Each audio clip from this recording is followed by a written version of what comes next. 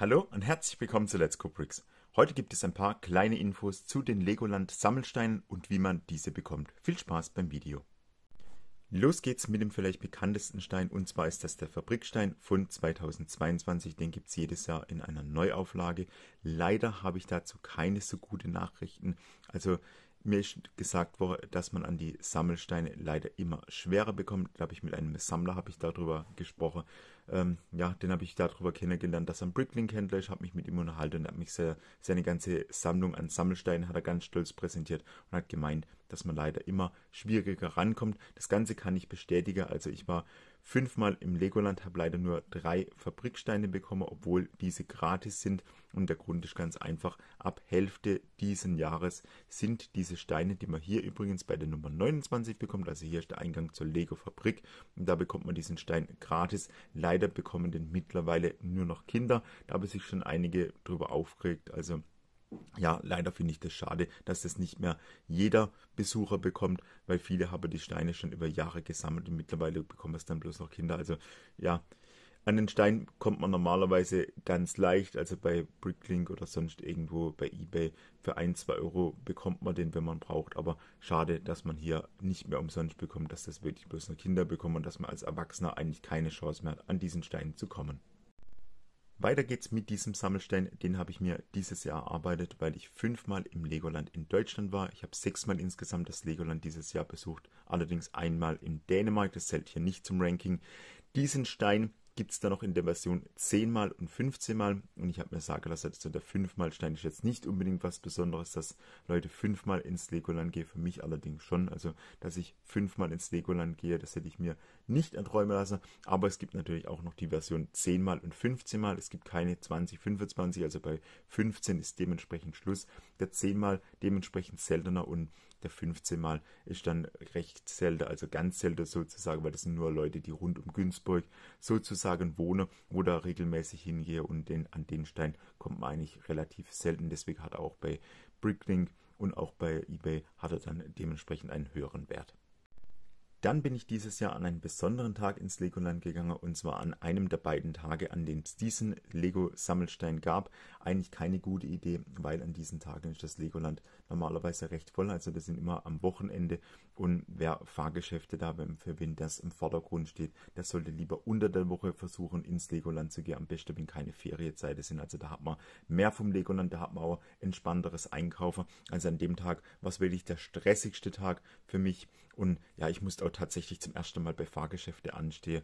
Also normalerweise bin ich das nicht gewohnt, weil ich da immer unter der Woche gehe. Habe ich ja schon ein paar Videos dazu gemacht, wann ich ins Legoland gehe und wann die beste Zeiten dafür sind.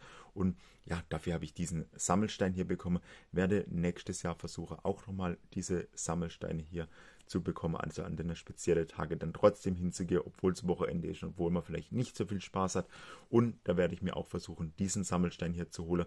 Da kann man es nochmal sehen. Also das Ganze ist natürlich gratis. Diesmal der von Ninjago. An diesem Tag war ich nicht im Legoland, also nur am 25. und 26. Juni gibt es das Ganze und da kann man sich den Sammelstein holen. Am besten dann wahrscheinlich am 25. hingehen, dass am 26. das Ganze nicht äh, irgendwie ja, ausverkauft kann man ja nicht sagen, aber vergriffen ist, äh, weil steht ja hier der Absatz noch, solange der Vorrat reicht. Also diesen Stein würde es natürlich auch dann oder hätte es an diesem Tag dann auch gegeben, hätte man sich dann auch in Verbindung mit einer Jahreskarte dann gratis holen können.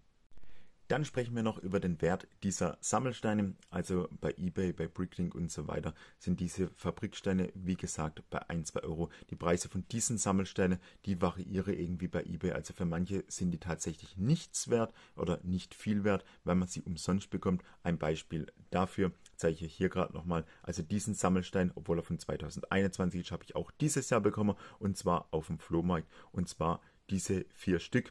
Könnt ihr jetzt kurz überlegen, was ihr dafür bezahlt hättet. Ich habe genau 50 Cent dafür bezahlt, also für alle vier zusammen. Und der Verkäuferin war es einfach nichts wert. Also sie hat dann irgendeinen Preis gesagt.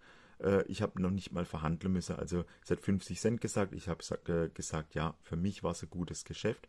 Für sie war es auch ein gutes Geschäft, weil ein gutes Geschäft kennzeichnet sich darin, dass beide Seiten zufrieden und glücklich sind. Und die Verkäuferin war absolut glücklich mit ihrer 50 Cent. Ich war glücklich mit meinen Sammelsteine. Für mich sind diese Sammelsteine viel mehr wert. Also einer schon mehr natürlich als 50 Cent. Für die Verkäuferin war es nicht mehr wert. Und so setzt sich das Ganze auch zusammen aus Angebot und Nachfrage. Das ist bei generell bei Lego so und generell auch kann man auf eine ganze Videos projizieren. Angebot und Nachfrage.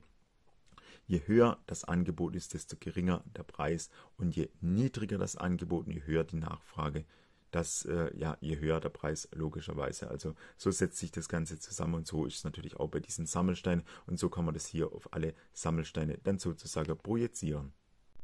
Wo gibt es jetzt noch Sammelsteine, die ich jetzt noch nicht vorgestellt habe? Und zwar, die gibt es unter anderem bei Figuren, die irgendwo rumlaufen. Die haben aber normalerweise nie gefühlt Sammelsteine dabei. Und hier einmal bei der Pyramiden-Rallye, bei dem Pyramidenrennen, habe ich hier einmal noch das exklusive Set. Also da muss man hier einmal das Feuer löschen. Und wenn man da Erster ist, also wenn man das ganze Rennen gewinnt, was nicht so einfach ist, was ich festgestellt habe, ähm, dann bekommt man da so einen speziellen Stein.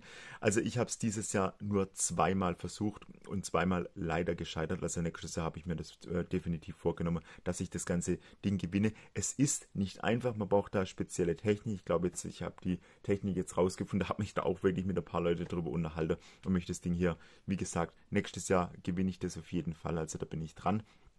Und Ihr könnt mir gerne noch in die Kommentare schreiben, falls ihr wisst, wo man noch irgendwie Steine bekommt, falls ich noch irgendwas nicht aufgezählt habe oder falls ihr noch irgendwie einen versteckten Stein kennt, den man noch irgendwo im Legoland finden kann, den man noch entdecken kann. Schreibt es mir doch bitte einfach in die Kommentare. Ich sage dann heute vielen Dank fürs Zuschauen und bis zum nächsten Mal. Ciao.